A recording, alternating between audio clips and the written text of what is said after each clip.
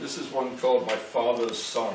Uh, as I, I can't say age, I'm aged already, but as I, um, I guess, finish aging, um, I realize that all the things I rebelled against, I become, which is a moral somewhere there.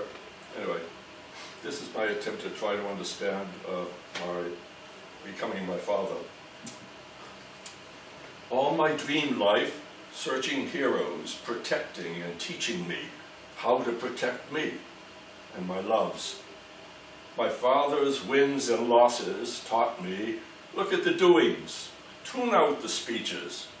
Don't get ground by bosses and unions, millstones grinding workers for food.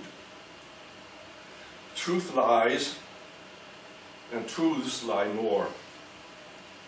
Meanwhile, surviving his genes and life passed on to me, a stubborn heart, unforgetting God's and man's betrayals, unforgiving allies failed, wrestling Israel from nightmare angels.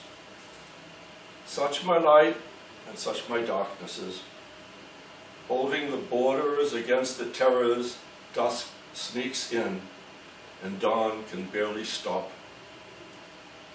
Duty met, our lives protecting laws, protecting Jews, honor the only hero taught.